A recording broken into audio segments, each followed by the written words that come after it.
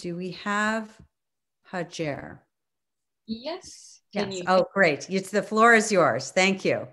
Perfect. Thank you. And thank you very much for UN Women for inviting me. I think when we discuss women's participation in decision making processes, be it in politics, be it in the private sector, being it at the household as well, um, it is important to always emphasize that women's participation is a right. Um, it's not something that it's giving to us. Um, it's not something extra. Um, it is our right as women and young women to participate in every decision making process that affects our daily life at whatever level it is.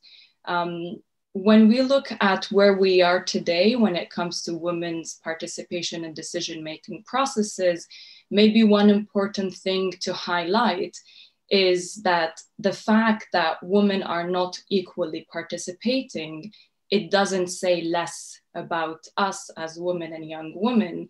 In fact, it says less about the decision making processes themselves, in the sense that since Beijing until now, these decision making processes has not changed significantly for better. And one important thing also to highlight is that perhaps there is a huge misconception in many parts of the world that these decision making processes are merit based um, that the selection to be part of these decision making processes are solely merit based. And this excludes one of the reasons for why women are not able to participate or are not equally participating as men, which is privilege. Um, being born with a within a specific group um, and being born as a specific gender who has a track record of participating and, and leading and designing decision making processes means that these processes do not really reflect and they do not frankly look like the communities they represent. Every time I'm having a conversation with whoever it is, regardless of gender, and I say, well, in order for us women and young women to be able to participate, we need to we need to have enabling systematic mechanisms.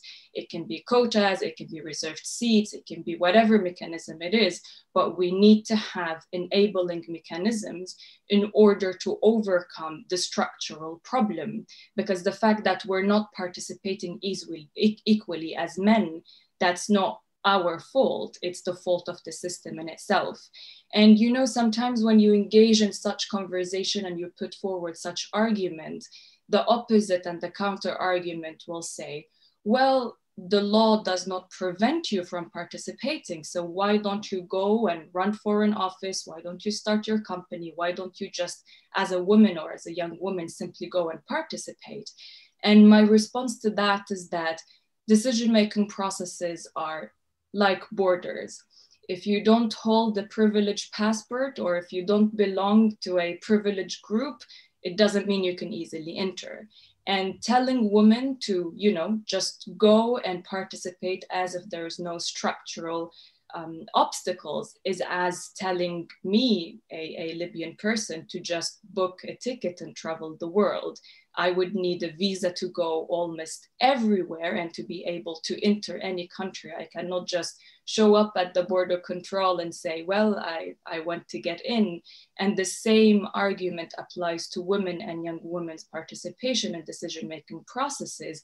We still do need a visa to enter these processes.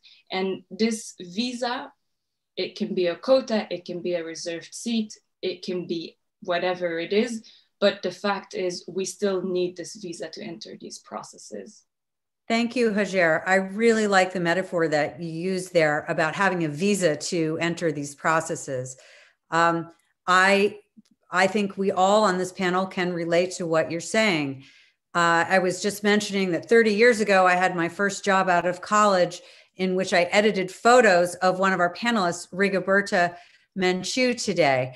And if you had asked me at that time, um, if 30 years later, would I be struggling with the issue of gender equality coming from a privileged position? Um, as they say, well educated, um, access to opportunities in the US. I would have said, no way, we have an equal playing field. But what I have learned in my three decades of working and experience is it's not an equal playing field. And one thing I want to do going forward is not try to tell a younger generation that it's equal and that if you just work hard, you'll get there, because I now know that that is not the truth. Um, I've learned it myself, and I've also learned um, about the unconscious bias that that comes from being in such a position of privilege. Uh, I would love to, to ask now of Beatriz Argimón, the vice president of Uruguay, um, about your experience of leadership and uh, whether what Hajer is saying resonates for you.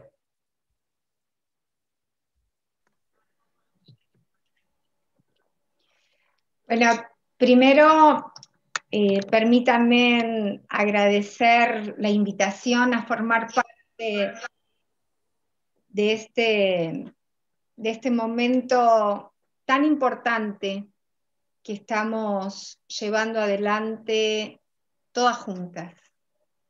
Este encuentro en épocas tan difíciles de la sociedad global que, nos encuentra unidas.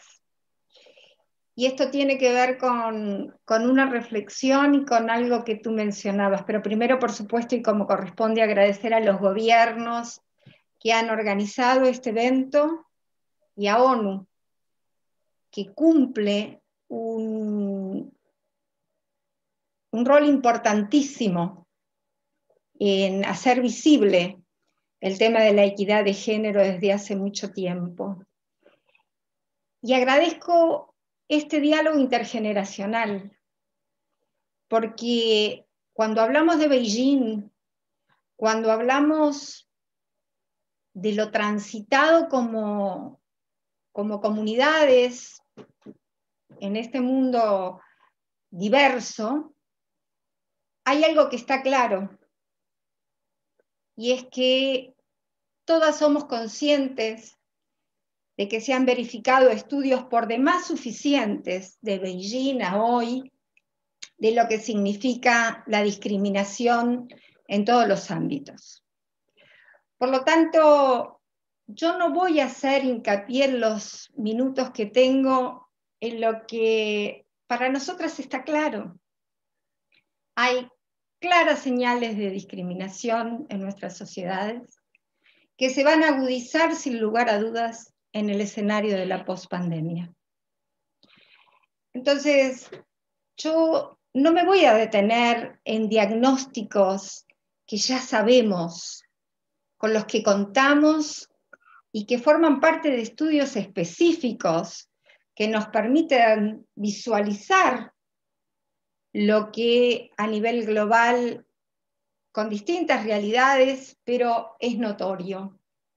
Ha habido avances, pero se ha demorado mucho, desde mi perspectiva, en obtener esa equidad de género que hace tiempo nosotros señalamos que es un tema no de lucha entre hombres y mujeres como muchos o muchas quieren hacer poner en, en el escenario. Esto se trata, y desde ahí me parece que tenemos que estar juntas en estos tiempos, además de ser un tema de derechos, es un tema de calidad de las democracias. Si la mitad o la mirada de la mitad de una población mundial está fuera de donde se decide el futuro de nuestros países, este pasa a ser un tema de calidad de democracia. Y por lo tanto, cuando hablamos de los obstáculos que tenemos, cuando hablamos de ese cambio cultural por el que estamos transitando, no debemos perder de vista que han pasado ya muchos años en que hemos ido denunciando esta realidad y que en el mundo globalizado, donde todo es más rápido, las que ya tenemos años transitando en nuestro rol de esa apertura a mujeres líderes, debemos también dejar claro que debemos llevar adelante acciones concretas más rápido. Yo provengo de un sistema político muy sólido. Aquí en Uruguay las mujeres tuvimos desde el punto de vista normativo muy tempranamente nuestros derechos, pero sin embargo es verdad que tenemos los mismos obstáculos que hace muchos años íbamos señalando. Que hay avances, sí lo he sabido, pero el siglo XXI debió habernos encontrado con una sociedad mucho más equitativa y encontrarnos a las mujeres trasladando nuestra mirada y proporcionando también acciones concretas con esa equidad que hace tiempo venimos pidiendo. Por lo tanto, yo resalto dos aspectos importantes. El hecho que hoy estos gobiernos y, y ONU nos junte, y por otro lado que sea un diálogo intergeneracional, porque ahí debemos dejar bien en claro nuestro compromiso. Las que ya hace tiempo que venimos batallando por la equidad de género en los lugares de decisión, tenemos que entender y hacer visible que ya ha pasado mucho tiempo y que se precisan acciones inmediatas esa toma de decisión con las miradas desde un punto de vista paritario no deben demorarse. Y mucho más teniendo en cuenta que las nuevas generaciones cada vez más están llamadas a cumplir más tempranamente que nuestras generaciones el asumir responsabilidades políticas y sociales en términos de conducción. No puede ser que después de todo lo trabajado, de todo lo transitado, cuando las normativas están y cuando se ha trasladado la necesidad de esa construcción codo a codo entre hombres y mujeres, tengamos que seguir haciendo eventos donde ya no tenemos que hablar más de diagnósticos, sino que tenemos que abrir paso acciones concretas que nos deben encontrar a todas juntas. Y en ese sentido yo me propongo ponernos desde el lado del escenario de la pospandemia, donde tenemos que trabajar por darles insumos indispensables a las mujeres que en el mundo siguen siendo las que tienen a su cargo los cuidados, como ha quedado visto notoriamente en estos tiempos. Ha quedado claro que la pobreza tiene cara de mujer y de niños. Después de tanto haber transitado de Beijing acá, hay diagnósticos que se repiten y no hay más tiempo.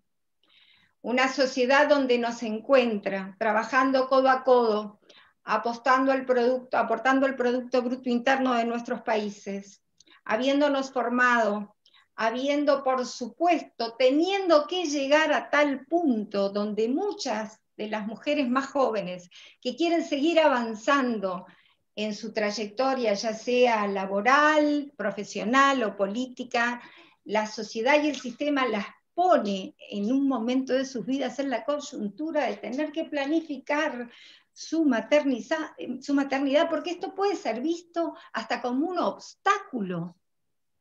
Es decir, las sociedades llegan a las mujeres que están comprometidas en el avance profesional, político, social, a condicionarlas muchas veces en el momento de ese cruce de caminos de tener que definir lo que yo denomino un auténtico proceso de penalización de su maternidad.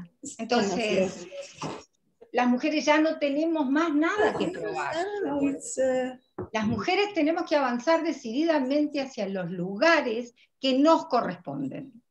Y en ese sentido, el escenario post pandemia nos está convocando, sin lugar a dudas, a que esa carga honoraria que tenemos en el quehacer cotidiano que implica los cuidados que llevamos adelante en forma gratuita, esa necesidad de independencia económica que debemos, sin lugar a dudas, transitar como forma de lograr esa equidad de derechos, es una acción que debemos tomar fundamentalmente las mujeres que llegamos a los lugares de decisión.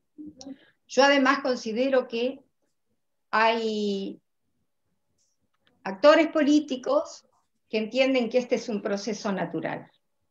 Yo creo que ha pasado ya mucho tiempo donde ese proceso natural nos sigue encontrando, trasladando y compartiendo diagnósticos que siguen hablando de inequidades. Por lo tanto, yo propongo que de este intercambio de mujeres que admiro, que sé de su trayectoria y que sé cuánto han aportado con su mirada de género las decisiones a nivel de liderazgos políticos y sociales, hagamos una alianza estratégica donde de una vez por todas se pase a una acción decidida. El escenario post pandemia nos va a encontrar precisamente con aumentos de pobreza. Y todas sabemos lo que significa cuando ese escenario pasa al aumento de pobreza, donde las mujeres nuevamente somos las más castigadas y con las mujeres la realidad de nuestros niños y nuestras niñas. Por lo tanto, esa alianza estratégica puede empezar hoy.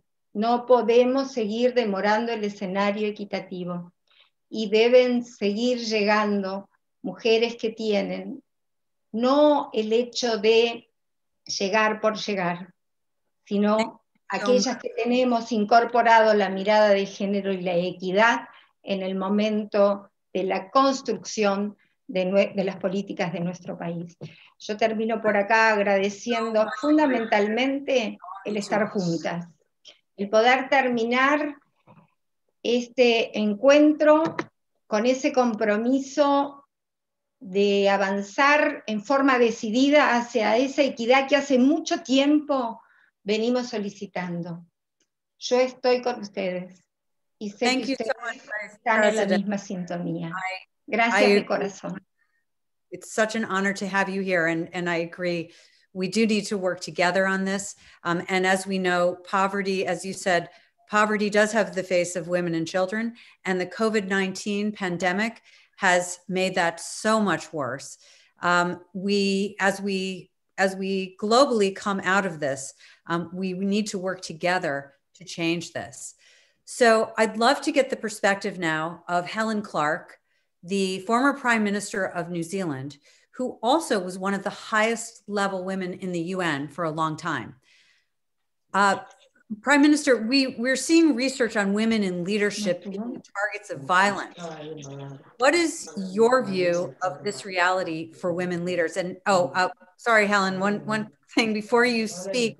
Um, uh, if, if every speaker can write your name in your uh, Zoom profile, um, by clicking on the three dots. That way, our audience will be able to see um, who you are.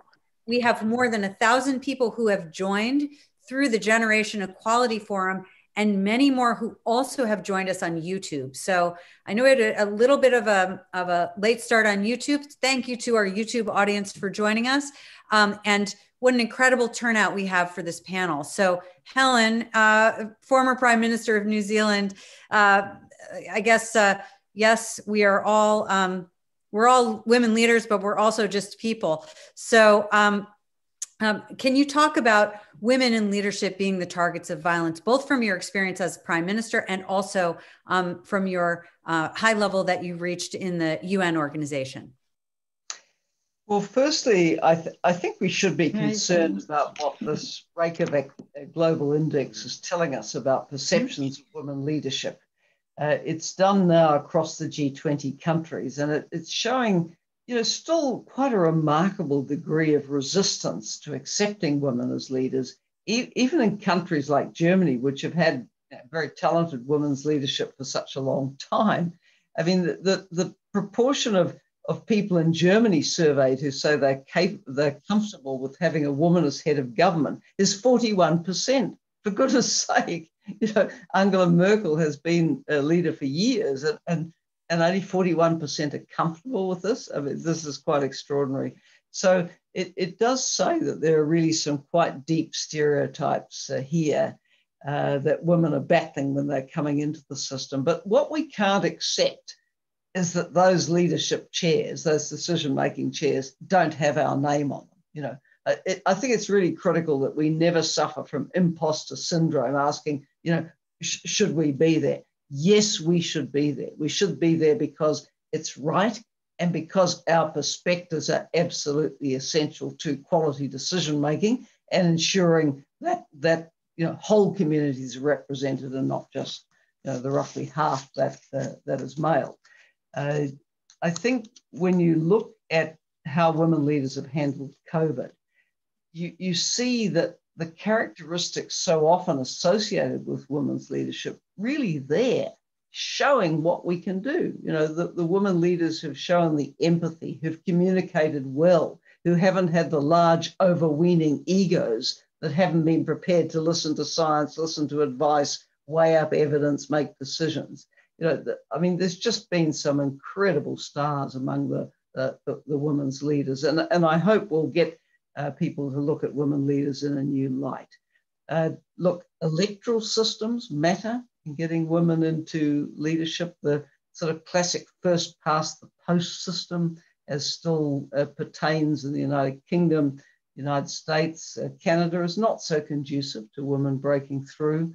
My own country got a really quite remarkable breakthrough with women's representation when it moved from that old Westminster UK system to proportional representation. We're now up to 48.5% of our parliament is female without quotas. But let's come to quotas. If your country's not making progress fast, go to quotas. They do work, and, and many countries have tried them and are getting uh, results uh, uh from them.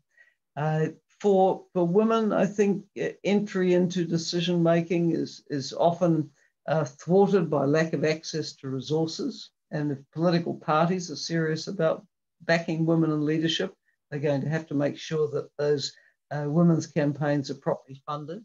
They also need to support women against the threats of political violence when they run, because women can be more susceptible uh, to that. And you know, what more graphic demonstration could there be than the you know, tragic assassination of Benazir Bhutto in Pakistan uh, all those, those years ago? So, yes, there are obstacles, there are stereotypes, there is stigma. But if, if we just say, well, that's the way it is, we're not going to try, that's not good enough either. We, we have to build the alliances and the networks of women and men who will back women uh, to, to work their way into these systems and change them. You know, not just adapt to these systems the way they are, but go in there to change and make it easier for future generations to come through. I think that would be my message. Thank you so much. Uh, I think the issue of quotas is, is really interesting. In some ways, the, in, in English, the word quota almost has a stigma attached to it. Uh, it would be nice if there was another. I liked how um, uh, our, our, earlier um, speaker called it reserved reserved seats. Uh, Hajer Sharief said reserved seats, uh, which I find to be perhaps uh, maybe something that doesn't create the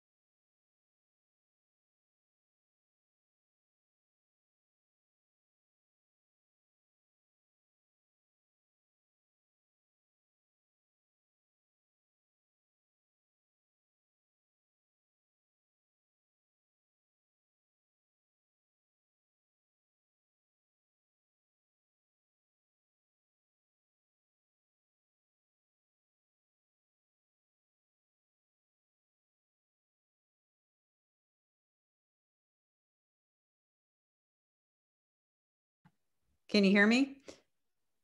I, okay, thank goodness. All right. Uh, uh, so as I uh, as I was saying, it's a wonderful world of technology that we live in today. So um, again, it's we're going to now to um, Inés Yabar, who's a sustainability um, activist. I'm going to ask you to speak a little bit about um, how we achieve a feminist agenda of leadership, go beyond the focus on women's leadership, and ensure uh, a diverse inclusive and intersectional forms of leadership for all members of society. This is so important. Thank you. Thank you so much for that question. And thank you for having me today. I'm really humbled to be with so many inspiring women that I look up to. And at just 25 years of age, I have to pinch myself and think, am I really in this space and discussing women who have done so much already? And I hope to achieve as much as well. Um, I am a sustainability activist, but that goes as well with uh, sustainability as an ecology, but sustainable cities includes also uh, working in poverty. And um, I work with Techo, which is an organization in Latin America helping um, people overcome poverty. And 76% of the leaders in the communities we work with are women. Um, and I think that is very powerful to know that women in shanty towns are the ones leading and they're the ones um, bringing ahead their communities and helping them overcome poverty. And uh, this is something that goes across, as you were saying, intersectionality. Um, uh, it goes across all areas of society. And, and I think there is a problem if women aren't being recognized for their leadership at any level. And they're just being sometimes applauded, um, sometimes their voices are amplified, but they don't really have the actual resources. They can't generate that momentum that we're asking for to be part of that decision making space and have leadership roles at higher level. Um, I was at a webinar a couple weeks ago, and they were mentioning how only 13 countries have had more than one woman lead, and only two of them had had three women lead. So, where's the issue where we come from women leading in their communities on the ground, and then they can't go further? Uh, what's happening when they uh, reach higher stages. Um, I, I, am from Peru, and uh, 30% of the parliament seats are held by women, and we have elections in two weeks. And I think something really important is to see that it's our role as well to elect those women into spaces. Uh, unfortunately, only four women out of 33 candidates, or 34 of the candidates are women out of 33, but they are there. And I think it's our role as well to recognize that they are in these spaces. They are everywhere. Women, as we've been saying from the beginning, are 50% um, of humanity. So we are in every sector, we are everywhere, and, and we are working and we are doing things. And it's up to us to recognize those women, to see them, um, to understand what the issues are that we have in whatever sector of society we work in. Um, I'm also working with a lot of young people in different countries that recognize this gender issue and, and the gender gaps um, in their communities. Recently, I was working with many young people from Kenya who were just saying how um, child marriage and period poverty and lack of access to education were the ones that weren't allowing them to uh, reach their full potential. So, what can we do to help them? And, and I'm really grateful to be inspired by a lot of young activists from around the world, including uh, my friend Amika George, who just launched a book called Make It Happen. And she um, managed to make in the UK uh, period poverty something kind of of the past. and there's still lots of work to do, but now anyone in any school can access uh, period products for free. And so I think there's a lot that we can do as young people. There's a lot that we can do as women. There's a lot that we can do as men um, to just see where are the issues in your community. Um, what are the things that you can do to make sure that women in whatever sector of society they're in and in whatever sector of work or in any of the roles that they have what is it that's preventing them from reaching her uh, levels of power and of influence. And, and women are there, um, but right now they're at the stage where they're just being applauded. And now it's time to make it normal. Why are not young men seeing these young women in those spaces more? Um, and, and why isn't something that has become normal? I think the fact that we're all here today demonstrates that women are in positions of power, but now are we really being listened to? Is what we're saying really being taken into account and um, that's what i think we should now work towards is recognizing that women are reaching certain positions but they're still an exception and we, we don't want it to be that way um, so i would challenge all of those of you listening Thank you, Christy. No, I, I, I'm, I, I, I, I you're, you're doing great, and uh, I want to. I agree so much with what you're saying. Um, that not only is it do we need a seat at the table, but we need to be heard and listened to when we get there. Um, and I, I, don't want to cut you off. I'm, I'm, uh, I want to respond to what you're saying because uh, I myself have been cut off and not heard, and it's hard to believe for, for some people watching, but um, you can accomplish a lot and still uh, not be heard frequently. Uh, I also really appreciated what you had to say about period poverty. I myself, in my third decade of working, find that there's no no easier way to freeze one of your male colleagues than by suggesting that there be free tampons in the bathroom. But um, that still is not the case in many places. Uh, and, and as we know, period poverty has more serious consequences um, than in our, our, our, our, New York office buildings. Um, I would love to be able to have time to come back to everybody um, once we've gone through our 10 panelists. We're, we're more than halfway through. So thank you everybody for, for sticking to the time. Um, and next I'd like to, to follow up on a point that you made about percentages and parity in leadership uh, with Carmen Calvo, who is the vice president of Spain. I'd, I'd like to ask you, we still have only 25%. Um, from your experience, what will work to achieve parity? And, and should quotas be mandatory um, as, as um, Helen raised? What should we do about quotas? Thank you. Gracias, Christy, y es un placer enorme compartir con, con, todas vosotras este espacio de reflexión y de trabajo y os mando un saludo grande desde mi país. Em, yo creo que estamos hablando de mujeres de distintas edades, desde diversos lugares del mundo, y deberíamos de mandar un saludo al viento de agradecimiento a las mujeres que a lo largo de la historia han hecho esfuerzos enormes por abrir paso con caminos muy difíciles al liderazgo de las mujeres, a la presencia influyente de las mujeres en todos los ámbitos de la vida. Eh, creo que eh, las sociedades eh, sexistas que, siguen discriminando a las mujeres en todos los lugares del mundo, eh, con mucha frecuencia se olvidan de nuestra historia. Eh, siempre que estamos una de nosotras, casi siempre ha habido otra antes. Tenemos que agradecerlo porque eso nos hace más fuerte, nos hace mucho más confortable cuando estamos porque sabemos que otras también están y nos obliga a tener un gran compromiso con, con las más jóvenes, con las que van a venir. Dicho esto, me gustaría también pensar que el liderazgo de las mujeres, de todas las mujeres, tiene que ser diferente y, tenemos que procurar tener una visión muy actualizada de cómo funciona la vida y el mundo. Todo está interconectado. Tienen que ser liderazgos que se despojen de un cierto sentido del egoísmo, incluso de los nacionalismos de cada uno de los países para trabajar de una manera más global por todas y por todos. Y en ese sentido sería muy necesario y lo es con el liderazgo de Naciones Unidas, de todas nosotras, de otras muchas, que seamos capaces, cuando avanzamos, de darnos cuenta que lo tenemos que hacer todas, con circunstancias muy diferentes, en diferentes posiciones, culturas y lugares del mundo, pero yo creo que las mujeres del siglo XXI tenemos que incorporar una visión mucho mejor eh, de la vida y mucho más profundamente humana.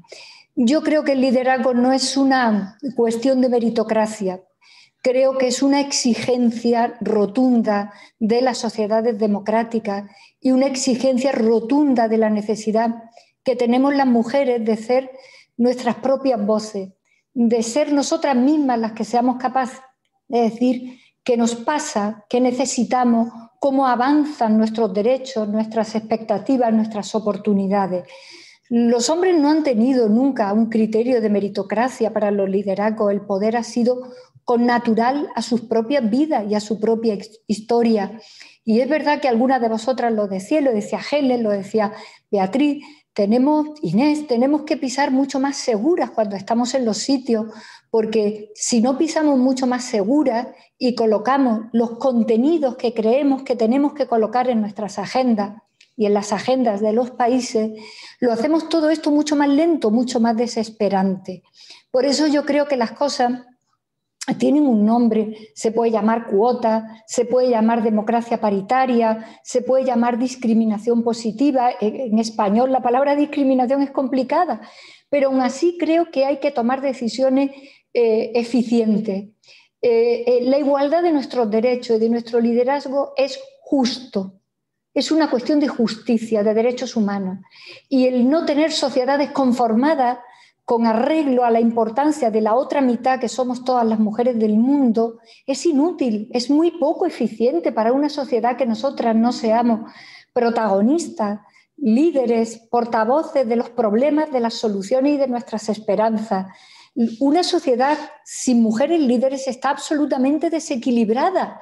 No puede ya seguir funcionando así. Por eso creo que tenemos que hacer algo eficiente y es colocar en la legislación de todos los países, cuanto más mejor, decisiones jurídicamente obligatorias obligatorias en las listas electorales, obligatorias en los órganos del Estado, donde no pueda haber más de 60, menos de 40 de un género y otro.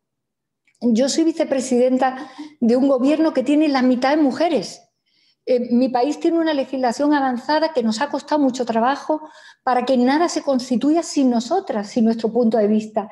Y alcanzado ese primer nivel de presencia, como decía Inés, hace falta que nos escuchen y hace falta no solo estar, sino influir. Influir, tener una capacidad de fortaleza política suficiente para que también las cosas se alcancen con arreglo a nuestros problemas lo, decían casi todas, lo, diremos todas. Esta pandemia nos va a afectar, nos está afectando más a nosotras. Cuando apenas conseguimos avances, vienen crisis que nos llevan por delante. Y para eso hace falta que estemos muchas mujeres en la primera línea política, que seamos nosotras mismas las que digamos qué pasa con nuestras niñas, qué pasa con las agresiones sexuales, qué pasa con la violencia contra nosotras, qué pasa con el mercado laboral, con el tipo de trabajos en el que estamos, qué pasa con la tecnología y las profesiones nuevas donde se está diseñando el mundo y hay muy pocas mujeres en esas profesiones, en esos mundos donde se va avanzando lo que va a ser el futuro. Pero yo creo que es un asunto de derechos, es un asunto de política obligatoria, es un asunto de la lucha de las mujeres, que como decimos todas, no es una lucha contra los hombres. Es una lucha por mejorar los modelos de convivencia, los modelos de derechos humanos, que también son nuestros derechos.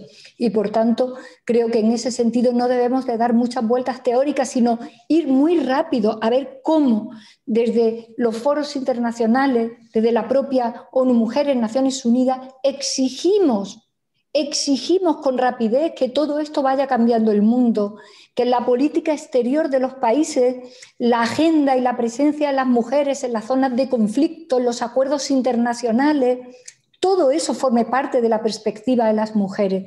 Yo creo que el obstáculo fundamental que tenemos, entre otros muchos, es que seguimos teniendo que cargar con los roles tradicionales de las vidas tradicionales donde las mujeres no éramos ciudadanas, no teníamos derechos, no teníamos libertades y con los nuevos roles, con los nuevos papeles donde somos ciudadanas, trabajadoras, líderes, mujeres libres.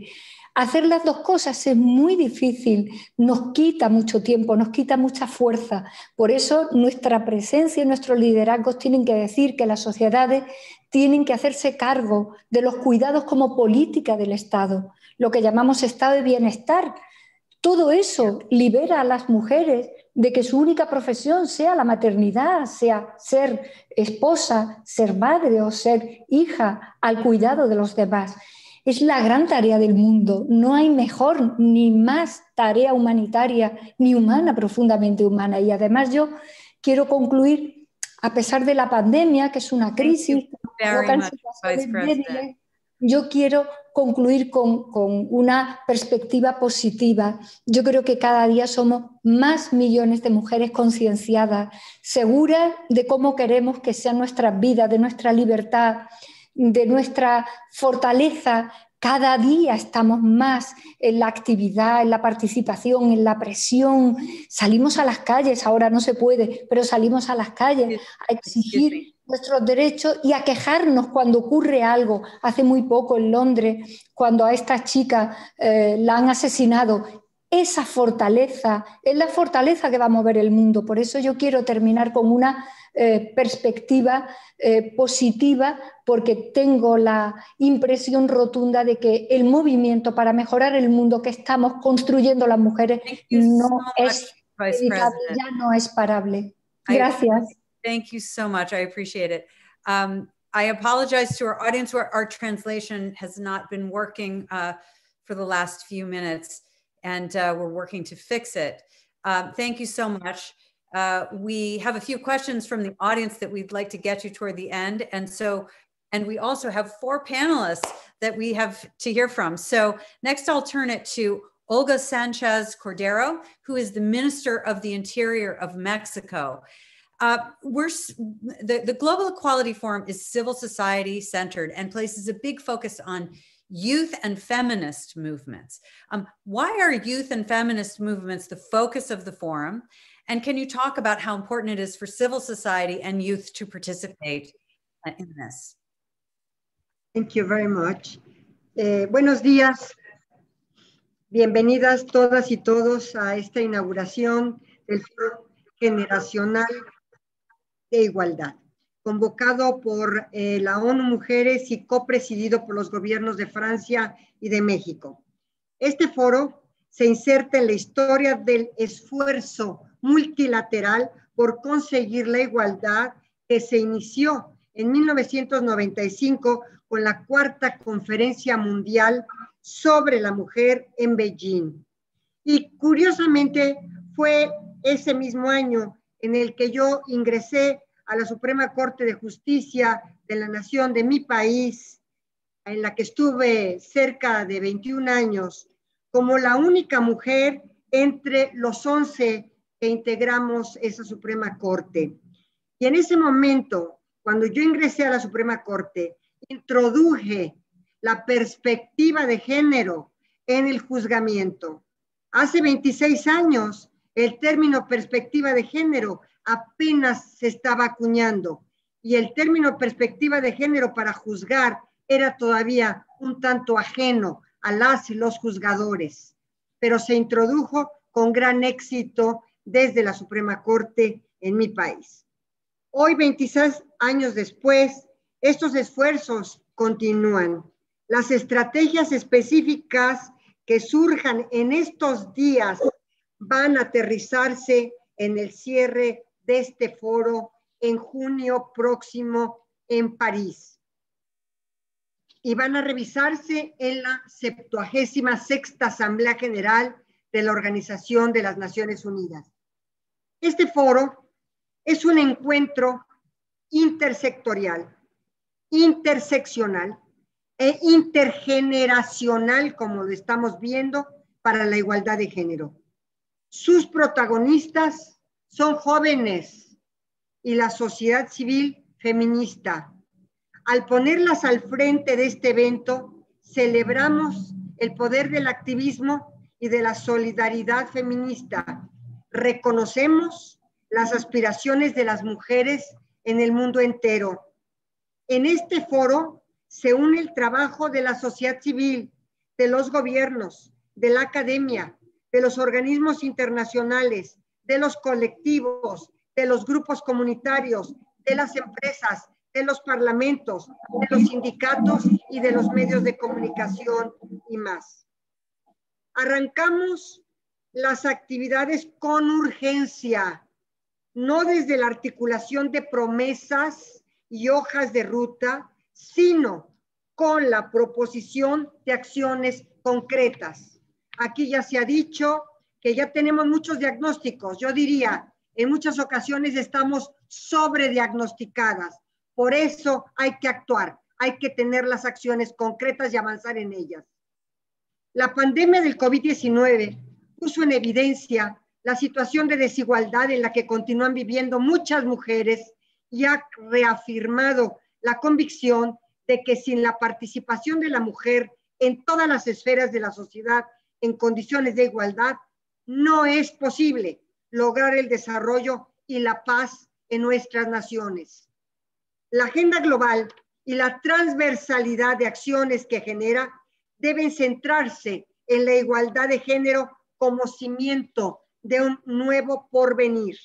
Nos encontramos en un punto clave que debemos, que debemos llevar a construir nuevas formas de incidencia para reconstruir un sistema que no estaba hecho para las mujeres, para transitar a uno en el cual sean ellas, las mujeres, las que marquen la pauta de las acciones globales. En este sentido, en México actuamos siguiendo un proyecto de nación que tiene como prioridad los derechos humanos y la lucha por la igualdad sustantiva. Por eso escuchamos a todas las mujeres para convertir sus intereses y preocupaciones en acciones concretas, tanto en la política interior como en el exterior. No quiero dejar de mencionar lo honrada y agradecida que me siento con todas aquellas que en su momento, como ya se dijo aquí, lucharon para que hoy pueda reunirme con, pueda reunirme con ustedes, mujeres líderes, con la seguridad, dignidad y libertad con la que quiero que las mujeres del mañana se conduzcan. A las generaciones presentes les pido que tengan plena certeza de que esta lucha aún no termina y no la dejaremos inconclusa. Si es posible transformar nuestra realidad a partir del reconocimiento de que somos iguales. Por eso y por último, hago un llamado a todas las personas, organizaciones e instituciones participantes a aprovechar este foro para construir un mundo en el que ninguna mujer se quede fuera, en el que ninguna mujer se quede atrás. Y compartirles lo que acabo de compartir en la inauguración. En México hoy tenemos un Congreso paritario y tenemos también un gabinete paritario con el señor presidente Andrés Manuel López Obrador por primera vez en nuestra historia. Muchas gracias.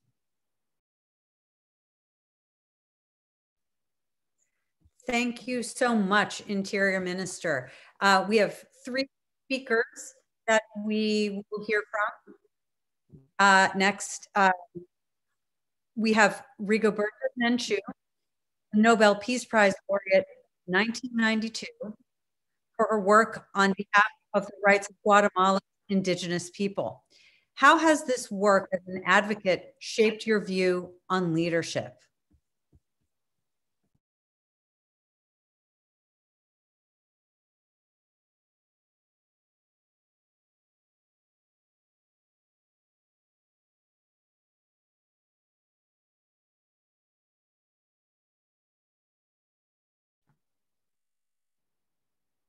I think we might be having a problem with the sound right now. Uh, es un gran honor y un gran placer estar con distinguidas mujeres pioneras de la lucha de las mujeres en todo el mundo. Hemos tenido conquistas, conquistas gracias a la lucha de las mujeres, gracias a la formación política de un conjunto de lideresas a nivel mundial.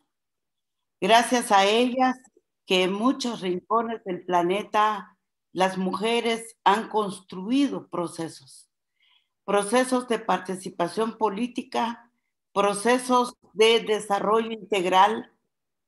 Ninguna política pública habría funcionado sin la presión, sin la lucha sin la participación de las mujeres.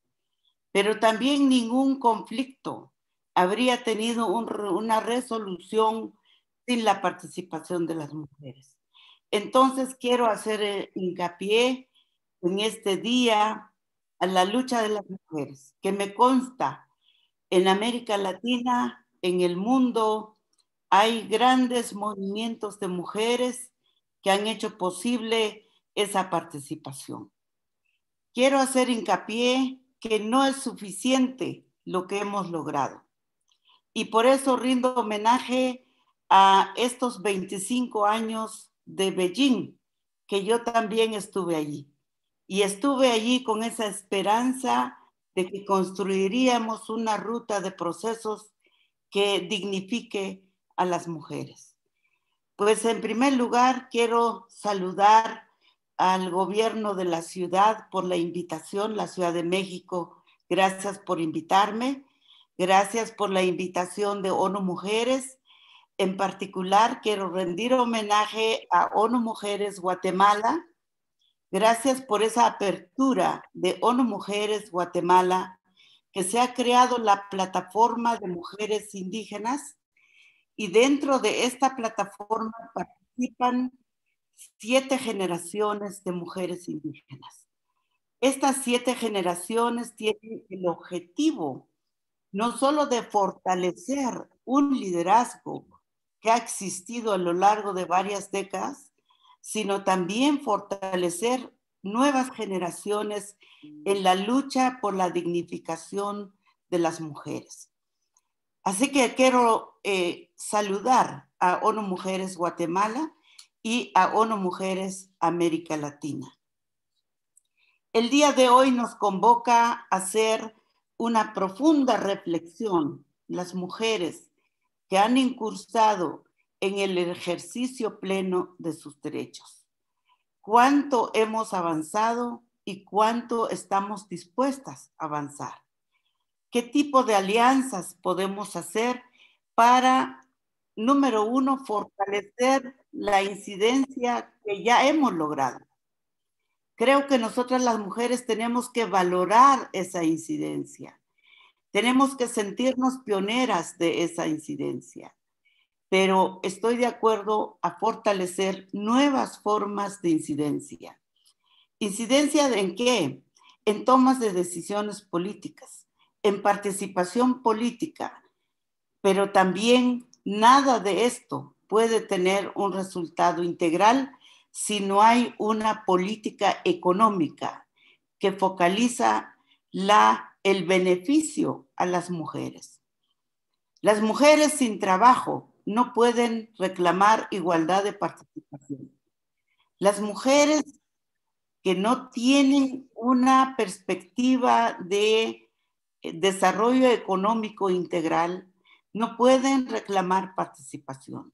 Por lo tanto, el énfasis sobre el desarrollo económico integral para las mujeres debe ser una meta de nuestra lucha posterior. Tenemos que masificar el beneficio a las mujeres. Ya hemos logrado parte.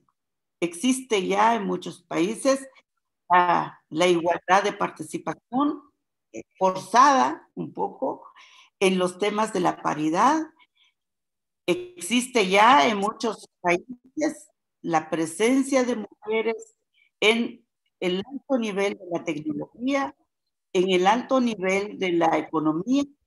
Existe ya participación de mujeres, pero esta participación sigue siendo un privilegio. ¿Cómo podemos masificar esos beneficios para las mujeres, tiene que pasar por política pública, pero también tiene que pasar por la parte económica. Creo que la salvación de todos está en un desarrollo integral.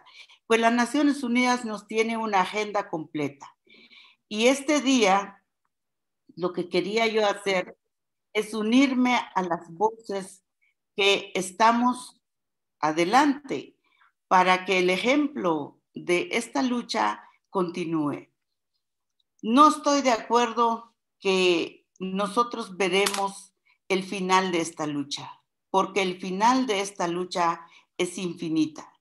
Por lo tanto, nuestra agenda sustantiva debe ser renovada constantemente, permanentemente, especialmente frente a las coyunturas. En todas partes vemos que se ha incrementado la violencia contra las mujeres.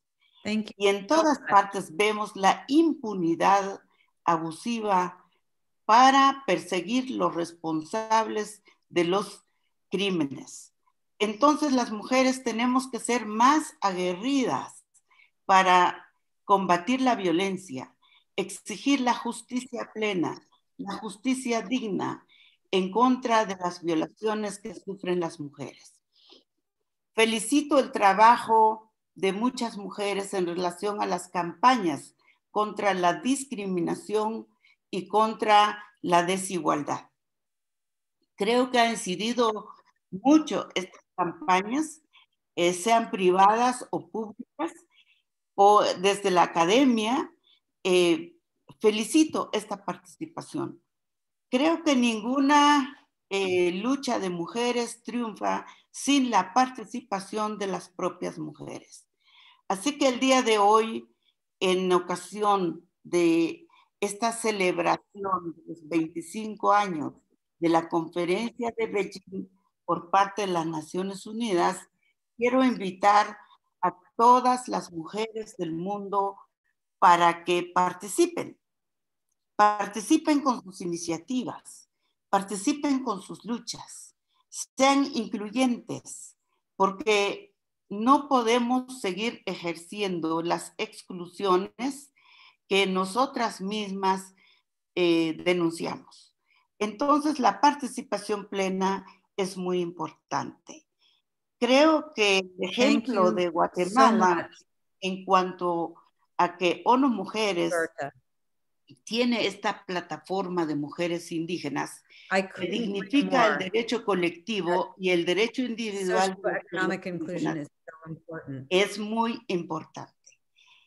Pues ojalá que esta parte se pueda multiplicar en muchas otras regiones y esto es posible porque ONU Mujeres quizá es lo más importante para mí que ha hecho las Naciones Unidas en los últimos tiempos. Muchas gracias por darme la oportunidad de participar en mi experiencia de estos 30 años de Premio Nobel de Paz. Eh, es, es muy difícil. En muchos momentos creemos que nuestra lucha es una fuente de frustración. ¿Por qué? Porque vemos la pandemia hoy en muchos lugares la inmensa mayoría de los afectados son las mujeres y especialmente las mujeres eh, del área rural. Y en este momento quiero rendir homenaje a las comadronas, porque las comadronas han jugado un papel muy importante, incluso en esta pandemia, especialmente en Guatemala. Muchas gracias. Thank you. And I, I agree with you that uh, the fight is not going to end. It's not, the end is not in sight. We are overcoming thousands of years of uh, gender and, and, inequality and other types of intersectional inequality, including socioeconomic and race, race injustice. Um, I'd like to turn now to Aminata Touré, the former Prime Minister of Senegal. Uh, can you help us summarize what needs to happen going forward? After we hear from you, we will also hear from one of our youth leaders, Amanda Nguyen. But let's start uh, with you, Prime Minister. What's your perspective on what our different stakeholders need to do? Well, thank you very much. Uh, let me uh, express a little bit of a frustration um, that I'm sure will be shared across the board. Why are we repeating the same thing over and over again since Beijing and not achieving what we would like to achieve? Uh, and, and that's really the question we have to face. Uh, in many parts of the world, including here in, in, in, in, in where I'm talking from, uh, Africa, uh, we are left with the idea of whether we should accelerate change, but we realize that we are in a situation where we need to preserve advancement, uh, which is not what we were expecting. Um, many, many of the, uh, the rights that we, we fought for and we acquired are under threat. uh, and it's not only in Africa, but it's uh, in many, many, many places. Uh, so we need to link our reflection to the global um, equality agenda um, in which um, gender equality would prosper. We have seen uh, very developed countries, I won't cite any for um, uh, diplomatic purposes, where leaders, um, you know, sort of got elected despite uh, derogatory words toward women, despite accusation of violence against women, yet they got elected with huge numbers. Uh, we've been seeing very um, conservative and even aggressive uh, speeches in places where we didn't used to do that. So I think it's very important that we, we, we address uh, the global um, agenda when it comes to equality, to tolerance, to anti-racism, and linking gender equality. We cannot separate those agendas too because of um, organizational uh, purposes. Um, you know, even in a government, you have to have. I think we're having a, a bit of a sound uh, and connection problem here. So I, I'm sorry to cut you off, but we're having trouble hearing you. It, it seems to be maybe an unstable connection. Uh, but let me see if we can come back in a few minutes. Uh, I apologize for this. Uh, next, I'm going to ask uh, Amanda. Amanda, I'll come back and ask you to wrap it up uh, if you would be able to, Prime Minister. Uh, in between, I, I, will ask Amanda Nguyen, the, the, CEO and founder of Rise, to uh, talk to us about uh, your story, living through something traumatic. Um, but can you really focus on telling us how, as one of our youth leaders, you think women and women leaders in particular can can harness obstacles that they face and turn them into drive. And then we will come back to the prime minister. Absolutely. And thank you so much for having me, for putting on this event. It's so wonderful to be able to connect with people, especially since for, gosh, it feels like a decade, but for the past several months, over a year now, we have been living in this pandemic. And so to be able to reach out through the screen and, and to be with one another, I just want to say thank you quite simply, you can't be what you can't see. And to break down gender bias, we must acknowledge that women's equality, and in many places around the world, women's equality is still swept under the table. The peace is not the absence of visible conflict. In order for there to be true peace, access to justice for women is a necessary prerequisite I am a rape survivor, and that is an issue that is still working through societal stigma.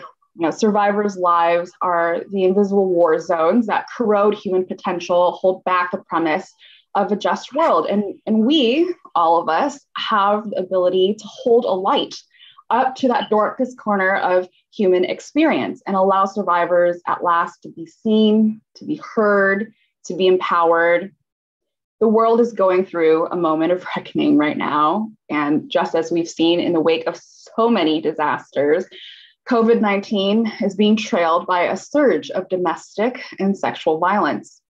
And we know that we are as strong as the weakest among us.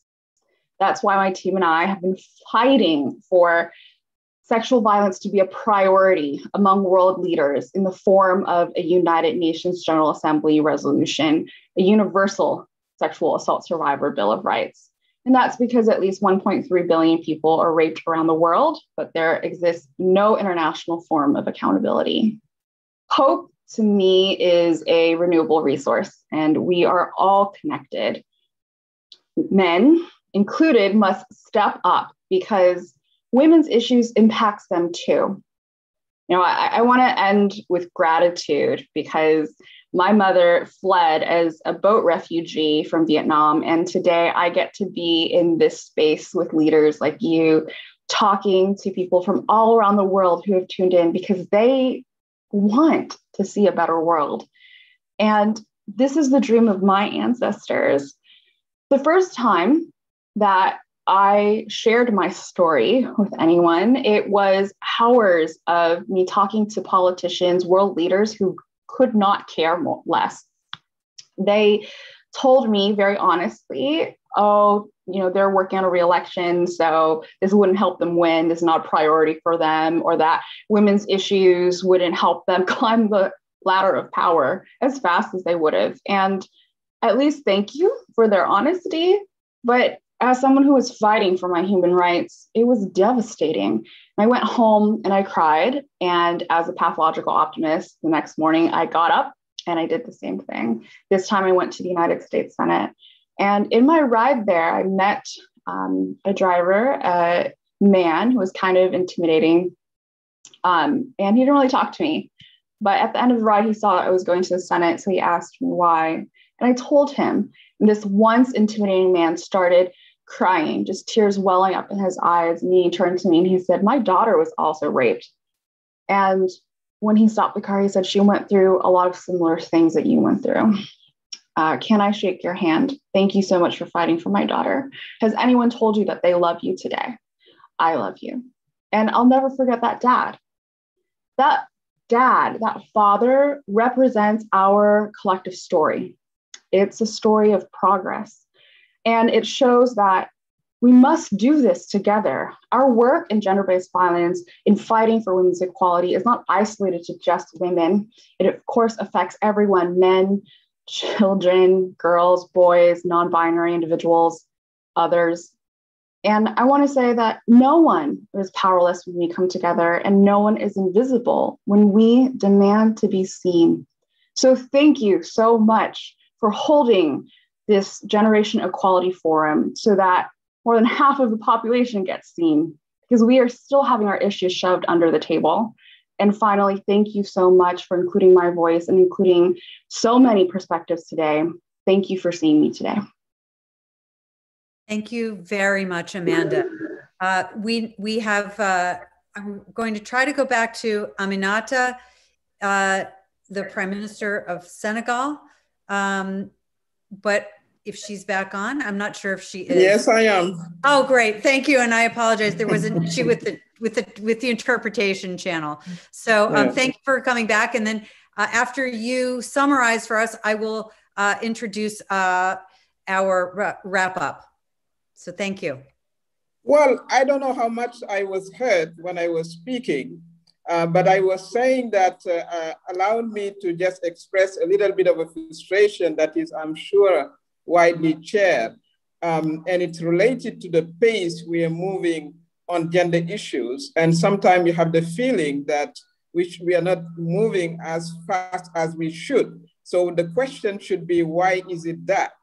Um, and one of the answer um, I'm, I'm, trying to put on the table is that maybe uh, we need to further link the gender equality agenda to the bigger agenda about equality per se, and tolerance and, and, and, and, and fight against racism and discrimination.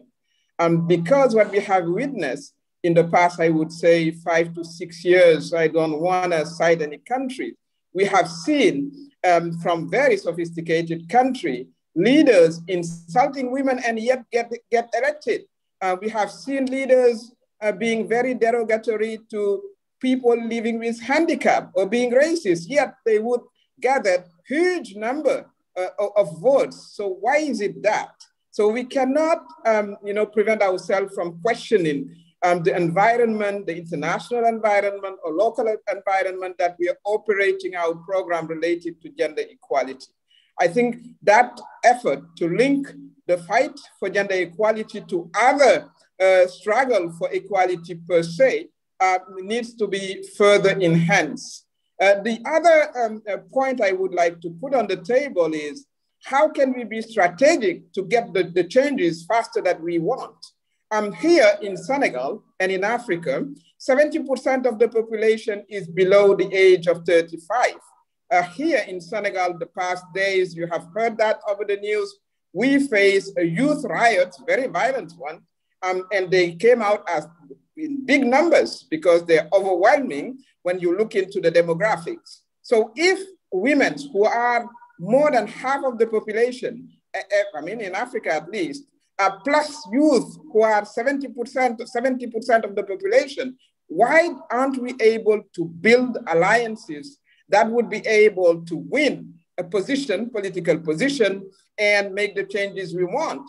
And we, these are both uh, two groups who have direct interest in changing, um, you know, the, the, the patriarchal system that is discriminating women and young people. So that has to be reflected. That's why I salute the, the spirit of this forum. And I, I guess that's also the attempt of uh, linking both agenda of women and, and youth. I think it's vital if we want to accelerate uh, the, the, the, progresses. And the last point I like what I want to make is um, we have moved in many, many, many fronts. In Senegal, 78% of the parliament is made of women. Um, after, after, after, after Rwanda, more than 50, I think there are 53, uh, South Africa. But yet, the changes don't necessarily reach the most vulnerable women. It's captured by privileged women like me and others. Um, so how are we going to make sure that we have a good intersection uh, between gender equality, social equality, of course, race equality, we, we, we say that in the literature and, and in theory. I'm not very sure we're delivering that in, in, in program and in effectiveness. So that is also something we need to, to look at. And the last point I like to, to, to, to, to, to, to, talk about is how are we going to make sure that we make the necessary progress, needed program, progress in the context of COVID when it is about access to resources. I think it is going to be a key battle for the gender equality agenda. So more than ever, we have to come back and question the budgets at, um, that are being voted by parliament, the allocation for uh, gender equality and women-related um, activities and needs and rights. I think in this context of COVID, where all budgets are being cut, it's very, very important that we do so. So my final word would be, if we want to, if we are able to put together a group that can win election everywhere, then we will be able to make the changes. And for me, it's really uh, looking into um, an alliance internationally, locally, you know, uh, between women and, and young people and setting, um, you know, our electoral list right and, and, and, and, and taking over. I think that's the best way to move forward. Thank you. Thank you. And what an excellent summary. You, you really uh, put it all together. Uh, now I'd like to introduce uh, Phumzile Mlambo Ngcuka, who is the executive director of UN Women, who has done so much as an advocate for the rights of women and girls around the world. She has some closing remarks for us.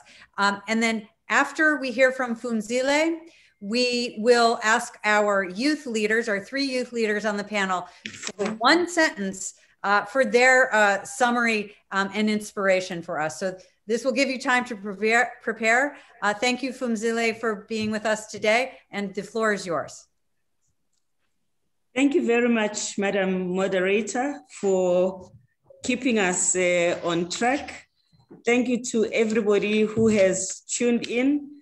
I am coming in from Mexico, where we have uh, just opened uh, the forum. It's been wonderful to listen to, to all of you.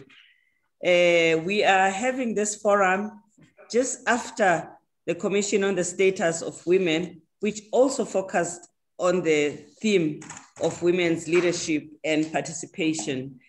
And the nations of the world at CSW called for and committed to effective and equal participation of women. They even called for 50-50 representation of women in all decision-making bodies, not just in the public sector, but even beyond the public sector. They also called for participation by young women and women with disabilities. They also said it is a right for women to participate in the governing of their own countries. I think we have to be holding them accountable, supporting them to make this happen, and taking our rightful role in pushing for the implementation of these very strong recommendations. As Vice President Kamala Harris said, women actually enhance democracy when they, they participate because democracy is not quite uh, uh, what it should be when some of those whose decisions and lives, I mean, who are affected by the decisions that are taken without them being in the decision making uh, process, are just left unchallenged. So, this is our chance to challenge the absence of women in decision making bodies, as well as to support the way forward that will make sure that women are adequately represented. It's been wonderful to hear some of the very concrete uh, statements that you have made about what women's leadership uh, means, what women's leadership needs for Indigenous women, for young women, and also what the responsibility uh, of those of us who are in position is in order to make sure that we are not the first and the last in the positions that uh, we are in, but we are rather uh, door openers for others to take. Generation equality is about action. We want to mark an era where we are not only talking and making statements, but we are committing to action. So, in the context of leadership uh, and participation of women, the Action Coalition on Feminist Movement and Leadership has to be our hope to make sure that what we are discussing here, what has been said by CSW, is acted upon and it becomes actions. We cannot only hope because hope is not a strategy. Hope becomes meaningful when it is acted upon. And action coalitions are there to make sure that the hope that we rightfully have is converted into a strategy that we uh, implement. We also are in an era in generation equality where we are fostering allyship. That is why we are so broad. We have women, we have uh, corporations, we have philanthropies, we have academics, we have member states, we have the UN. We are a broad force and we are allies. We also want investments. That is why we have calculated every action that we take, we have calculated what it would cost to implement it. And we're asking and demanding that someone else pay for what needs to be done. We are an action oriented a movement because we also are concerned about time frames because in the last 25 years, progress has been slow and we are done talking. We want pace, we want speed, and we want to make sure that by the time we reach 2030, we have made a difference. And I will not end by not highlighting the issue of violence against women, which is everywhere women who are standing for leadership position suffer intimidation, physical violence, cyberbullying, and they suffer together with their families. And that reduces the appetite that women have for leadership. And that has to end. Young women are also kept out of position because of age limitation we have to address that because that too frustrates young women and it kicks women out of leadership. We also heard from Crown Princess Mary about the fact that every woman deserves the position that they have. We must make sure that it is understood that women's participation and leadership is not a favor, nor is it revolutionary. It's a baseline. It's where we start. It's good corporate governance. And in many bodies where people are not represented, when decisions about them are being taken, this would not be acceptable. So we should go forward and, of course, take into account the intersection, which has been highlighted so able by uh, Prime Minister Aminata, who highlights the need for us to work together with all the other causes that are fighting for rights. And that is also what generation equality is about. So we are starting and we are unstoppable. And I thank you so much for giving us these rich deliberations in this section. Thank you. Thank you, Lile. Uh, such incredible words. Uh, I want to follow up on uh, your mention of opening doors and paying it forward and open the door for one sentence each, hopefully to sum up. We know you have a lot more to say, but one sentence, if you can, um, Hajer Sharief, um, uh, uh, for what, what, what should inspire us all today? It, it's, it's a question. And my question is, why are we still accepting decision-making processes that do not look like us? Simply why? Thank you. Um, Inés Yabar. Mine is an encouragement um, to all the women listening to us. Um, people are in leadership because they are technically able, and women are technically able. So, no dream is too big, and nothing is too big in terms of setting a standard for yourself and becoming the leader. And um, it's a challenge to men to let us be those leaders. Thank you. Amanda Nguyen. Unstoppable. Zile, that, that really resonated with me. So I just want to say I am hopeful and that there is nothing that we can't do together. Um, and now uh, I want to thank everybody for for joining us. For some of us, it's nighttime. For others, it's the middle of the day, and others, it's morning. This really has been a global panel. Um, is there anybody else before we sign off um, uh, who has one sentence to summarize our action that is needed uh, or uh, a question uh, what is happening? Okay. Uh, what's gonna what's go gonna what's gonna be next?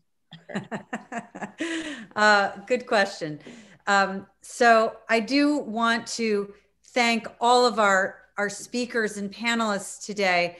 Um, I'm I, am I know that we all have a lot of action to do, and there is so much more to discuss in the coming days uh, at the forum um, as as this group comes together virtually. So um, so thank you so much. I look forward to the coming conversations and uh, look forward to seeing and or meeting all of you in person. I hope sometime soon. It's really been a pleasure. Thank you for bearing with us through technical difficulties and um, and uh, I very much uh, feel the call to action that you've all that you've all asked us for today. Um, that's our obligation and our privilege to be able to meet that call to action. So thank you. Thank you.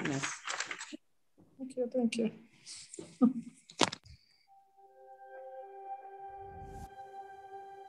De un siglo a otro, pasamos de demostrar que podemos liderar a demostrar que tenemos que liderar y formar parte de todas las decisiones a las que nos enfrentamos en este mundo.